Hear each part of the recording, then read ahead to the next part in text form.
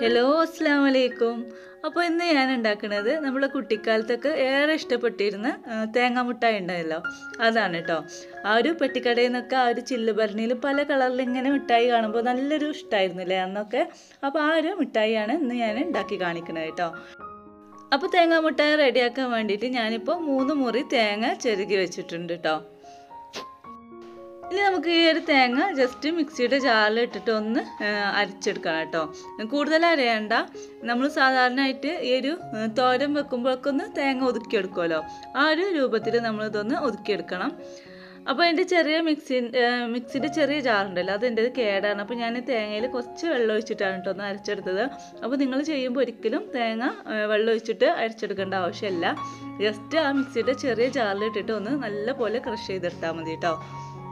ഇപ്പോൾ ഞാൻ പാനിലേക്ക് ഒരു കപ്പോളം പഞ്ചസാര ചേർത്ത് കൊടുത്തിട്ടുണ്ട്. അതിലേക്ക് ഒരു കാൽ കപ്പ് അളവിൽ വെള്ളം കൂടി ഒഴിച്ച് കൊടുത്തിട്ട് സ്റ്റൗ ഒന്ന് ഓൺ ചെയ്യാം കേട്ടോ ഈ ഒരു പഞ്ചസാരയൊക്കെ നല്ല പോലെ ഒന്ന് മെൽറ്റ് ആയിക്കോട്ടെ.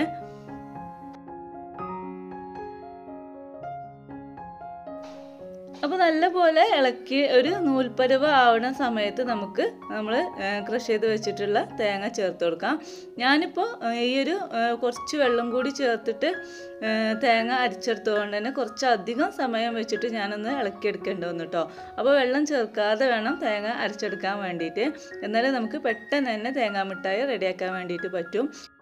അപ്പോൾ തേങ്ങ ചേർത്ത് കൊടുത്തതിന് ശേഷം ഞാൻ നല്ല പോലെ ഒന്ന് മിക്സ് ആക്കിയിട്ടുണ്ട്. അപ്പോൾ ഹൈ ഫ്ലെയിമിൽ വെച്ചിട്ട് തന്നെയാണ് കേട്ടോ ഞാനിപ്പോൾ ഇതൊന്ന് ഇളക്കിയെടുക്കുന്നത് അപ്പോൾ ഇതുപോലെ തിളച്ച് നന്നായിട്ട് തന്നെ വറ്റി വരും. അപ്പോൾ ഞാനൊരു സ്പൂൺ അളവിൽ വാനില സെൻസ് ചേർത്ത് കൊടുത്തിട്ടുണ്ട്. നല്ലൊരു ഫ്ലേവർ കിട്ടാൻ വേണ്ടിയിട്ട് കേട്ടോ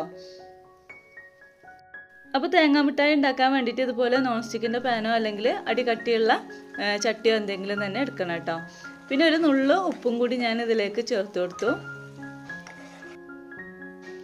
പിന്നെ അതിലുള്ള വെള്ളമൊക്കെ വറ്റിയതിന് ശേഷം ഞാനിതാ ഒരു ടീസ്പൂൺ അളവിൽ ഡാൽഡ ഉണ്ടല്ലോ വനസ്പതിയൊക്കെ വെജിറ്റബിൾക്ക് ഏതായാലും മതി ഒരു സ്പൂണോളം ചേർത്ത് കൊടുക്കാം.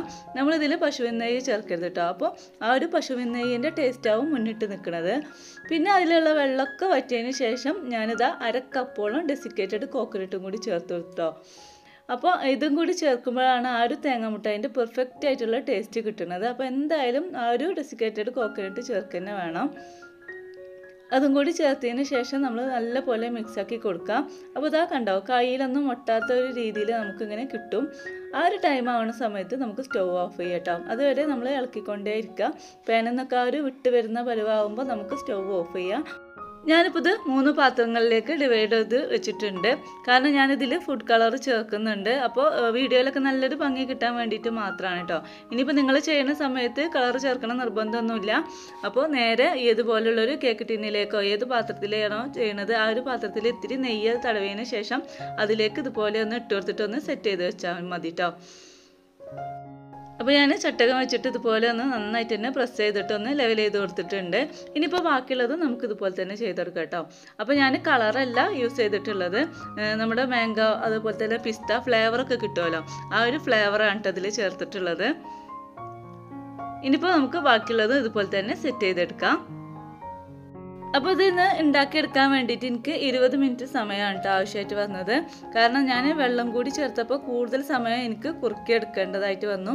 അപ്പോൾ നിങ്ങൾ ഉണ്ടാക്കുന്ന സമയത്ത് ഒരിക്കലും തേങ്ങ അരിച്ചെടുക്കുന്ന സമയത്ത് വെള്ളം ചേർക്കണ്ട കേട്ടോ ഇതിപ്പോൾ ഞാൻ മാംഗോ പിസ്ത ഓറഞ്ച് ഈ ഒരു മൂന്ന് ഫ്ലേവറിലാണ് കേട്ടോ ചെയ്തത്. ഇത് ഒന്ന് ചൂടാറിയതിന് ശേഷം നല്ല പോലെ ഒന്ന് സെറ്റായി കിട്ടാൻ വേണ്ടിയിട്ട് ഒരു രണ്ട് മണിക്കൂർ സമയത്തേക്കെങ്കിലും നമ്മൾ മാറ്റി വെക്കാം കേട്ടോ അപ്പോൾ ഫ്രിഡ്ജിലൊന്നും വെക്കണം നിർബന്ധമൊന്നുമില്ല. ഇനിയിപ്പോൾ പെട്ടെന്ന് സെറ്റ് ആവണമെന്നുണ്ടെങ്കിൽ ഒന്ന് ഫ്രിഡ്ജിലേക്ക് വെച്ചു കൊടുത്താലും മതി കേട്ടോ ഇതിപ്പോൾ രണ്ട് മണിക്കൂറൊക്കെ ആയിട്ടുണ്ട്. അപ്പോൾ നല്ല പോലെ തന്നെ സെറ്റായി വന്നിട്ടുണ്ട് കേട്ടോ അപ്പോൾ നമ്മൾ കത്തി എന്തെങ്കിലും വെച്ചിട്ട് ഇതുപോലെ ഒന്ന് സൈഡൊക്കെ ഒന്ന് വിടിച്ചു കൊടുക്കാം. അതിന് ശേഷം ഇതൊന്ന് കട്ട് ചെയ്തെടുക്കാം. അപ്പോൾ ഈ ഒരു യൂട്യൂബ് ചാനൽ തുടങ്ങിയതിന് ശേഷം ഞാൻ ആദ്യമായിട്ട് തന്നെ ചെയ്ത വീഡിയോ എന്ന് പറയുമ്പോൾ തേങ്ങാ ബർഫി ഉണ്ടല്ലോ അതിന്റെ വീഡിയോ ആയിരുന്നു കേട്ടോ അപ്പോൾ കാണാത്തവരൊക്കെ ഉണ്ടെങ്കിൽ പോയിട്ട് കാണാൻ നല്ല അടിപൊളി ടേസ്റ്റ് ആണ്. അപ്പോൾ അതിന്റെ ലിങ്ക് ഞാൻ താഴെ ഡിസ്ക്രിപ്ഷനിൽ ഇട്ട് കൊടുക്കാം. അപ്പോൾ അതാ ഞാൻ ഇതുപോലെ സ്ക്വയർ പീസ് ആക്കിയിട്ടാണ് എടുത്തിട്ടുള്ളത് കേട്ടോ അപ്പോൾ നിങ്ങൾക്ക് ഏത് ഷേപ്പിൽ വേണമെങ്കിലും ചെയ്യാം. നല്ല ടേസ്റ്റി ആയിട്ടുള്ള നല്ല പെർഫെക്റ്റ് ആയിട്ടുള്ള തേങ്ങ മിഠായി തന്നെ ഇതാ കണ്ടോ. നല്ല അടിപൊളിയായിട്ട് തന്നെ കിട്ടിയിട്ടുണ്ട് കേട്ടോ അപ്പോൾ എല്ലാവരും ഒന്ന് ട്രൈ ആക്കി നോക്കാം. അപ്പോൾ നല്ല ടേസ്റ്റ് ഉണ്ട് കേട്ടോ നമുക്ക് ആ ഒരു പണ്ട് പെട്ടിക്കടയിൽ നിന്നൊക്കെ ആ ഒരു ചില്ല് കുപ്പിയിൽ ഇങ്ങനെ ഇട്ട് വെച്ച് കാണുമ്പോൾ വല്ലാത്തൊരു കൗതുകം തോന്നിയിട്ടുണ്ടായിരുന്നു അല്ലേ? അപ്പോൾ ആ ഒരു ടേസ്റ്റ് തന്നെ നമുക്ക് ഈ ഒരു തേങ്ങാമിഠായി കിട്ടിയിട്ടുണ്ട്. അപ്പോൾ എല്ലാവരും ഒന്ന് ട്രൈ ആക്കി നോക്കാം. അതുപോലെ തന്നെ ഈ ഒരു വീഡിയോ നിങ്ങൾക്ക് എല്ലാവർക്കും ഇഷ്ടമായിട്ടുണ്ടാവും എന്ന് തന്നെ വിചാരിക്കുകയാണ്. ഇഷ്ടമാണെങ്കിൽ താഴെ കാണുന്ന ആ ഒരു ലൈക്ക് ബട്ടൺ ഒന്ന് മറക്കാതെ പ്രസ് ചെയ്യുക. ഇൻഷാല്ല മറ്റൊരു ദിവസം മറ്റൊരു വീഡിയോ ആയിട്ട് ഞാൻ വീണ്ടും വരാം. Okay thank